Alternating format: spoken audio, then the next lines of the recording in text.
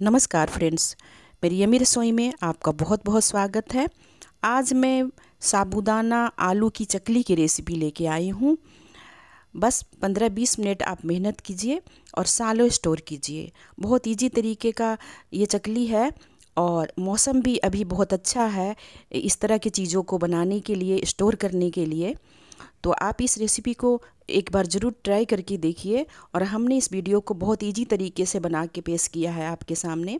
आप एक बार इसे ज़रूर बनाइए और आपको अगर इस रेसिपी में अच्छा स्वाद आता है, बनाने का तरीका आसान लगता है तो आप मेरे चैनल को सब्सक्राइब कीजिए वीडियो को लाइक और शेयर कीजिए।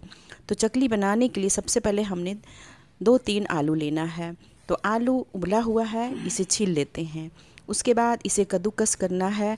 तो मोटा वाला से ना करके, बीच वाला साइज़ या छोटा वाला साइज़ से कर लेंगे, ताकि ये चकली बनाने में अच्छी तरह से मैश हो सके और बढ़िया बने। तो इस तरह से हम इसे कद्दूकस करके और तीनों आलू को तैयार कर लेते हैं। तो देखिए, एकदम पतला सा हमने कद्दूकस किया है और ये बहुत बढ़िया मैश होगा। और साबुदाना हमने एक कटोरी लिया था, उसे पानी में भिगो दिया था, एक घंटे पहले, बहुत ज़्यादा पहले मैंने नहीं भिगोया है। और पानी इसमें बराबर से थोड़ा सा कम रखना है, जिसमें साबुदाना डूब जाए और उसमें भी थोड़ा कम होना चाहिए। उसके बाद इसे हमने ले लिया है, ये फूल भी गया है अच्छा। तो एक कटोरी ये साबुदाना हमारा हुआ तो हम दो कटोरी इसमें पानी डालेंगे, इससे ज़्यादा पानी इसमें नहीं यूज़ करना है।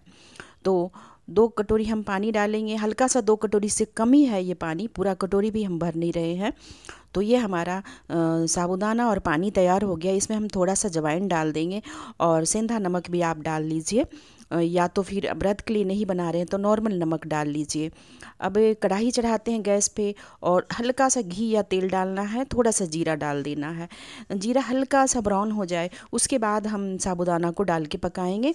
तो हल्का सा ब्राउन हो गया, उसे हम डाल देते हैं और ये देखिए इसमें जीरा और जवाइन दोनों का फ्लेवर आ जाएगा। आप इसमें और चीज़ चाहें, जैसे मिर्ची, चिली फ्लेक्स, कुछ भी तो आप इसमें डाल सकते हैं। अब, फ्लेम को मीडियम या हाई रखते हुए, मीडियम रखते हुए, लो रखते हुए इसे पकाना है, कभी लो, कभी हाई करके, या तो आप मीडियम पे पकाइए और थोड़ा सा हल्दी हम इसमें ऐड करते हैं। हल्का सा कलर आ जाए इसके लिए। फ़ूड कलर ना यूज़ करके आप हल्दी डाल सकते हैं, व्रत में हल्दी तो खाते हैं। तो इस तरह से हम ये व्रत के लिए स्पेशली बना रहे हैं। तो सिंधा नमक को, को यूज़ करना है और थोड़ा सा हल्दी हमने कलर के लिए भी डाल दिया। अब हम फ्लेम को लो कर दिए हैं। लो फ्लेम पे हम इसे तीन से चार मिनट पकाएँगे तो एक अच्छा सा उबाल आने लग जाएगा। उसके बाद हम फिर इसे लो कर देंगे और फिर इसे दो तीन मिनट पकाएँगे। और बहुत ज़्यादा गाढ़ा हमें नहीं करना है। स्टेप बाय स्टेप हम इसमें बहुत अच्छी तरीके से बताए हैं आपको। आप इस वीडियो को देखिए और इसे ज़रूर ट्राई कीजिए। बिना कोई मोल्ड, बिना कोई मशीन का इसे बना सकते हैं और बहुत बढ़िया हमारा चकली बन के तैयार होगा और फटाफट बन के तैयार होगा।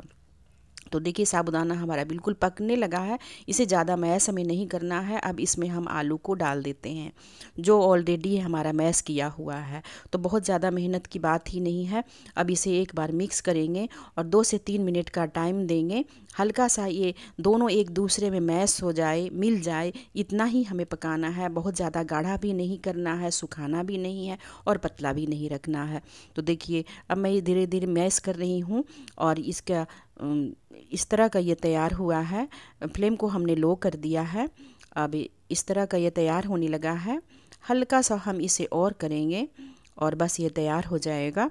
तो अभी ये बहुत, थोड़ा पतला है। चकली बनाने के हिसाब से पतला है। अब तीन मिनट के बाद ये देखिए, गाढ़ा होने लगा है। काफ़ी गाढ़ा हो गया है। तो इस तरह का हो गया है। तीन मिनट बाद हम इस वीडियो को लिए हैं। तो ये बिल्कुल तैयार है चकली बनाने के लिए। इसे एक बड़े से बर्तन में डाल के और ठंडा कर लेते हैं। ठंडा भी हमें बहुत ज़्यादा नहीं करना है। इतना ही ठंडा करना है कि इसे हम हाथ से छू सकें। तो ज़्यादा ठंडा कर देंगे तो ये बहुत ही हो सकता है गाढ़ा हो जाए और चकली नहीं बन पाए।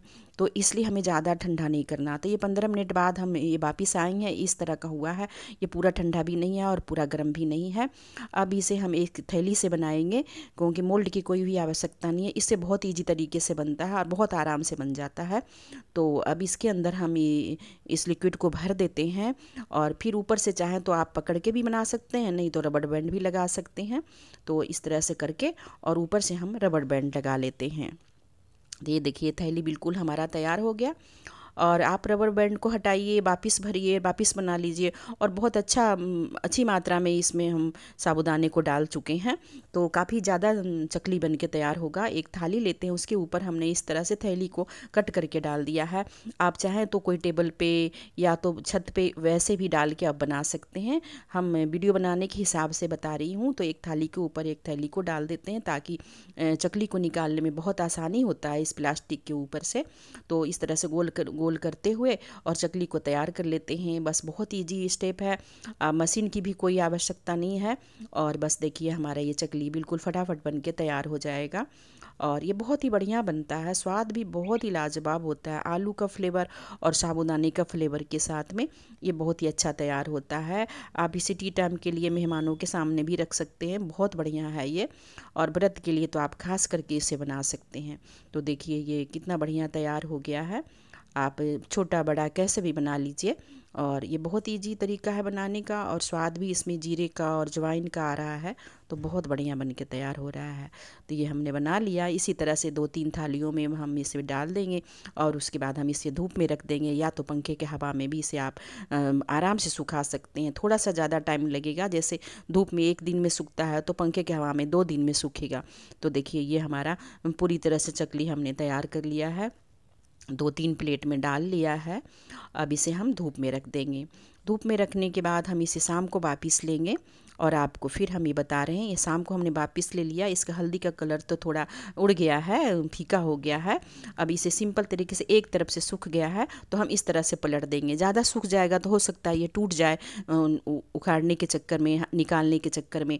तो हम इसे थोड़ा गीला है एक तरफ़ से, तभी हम निकाल लेंगे। ये हमारा सूख के भी तैयार हो गया, हम वापस रख दिए थे। तो ये हमारा चकली बिल्कुल सूख के तैयार हो गया है स्टोर करने के लिए।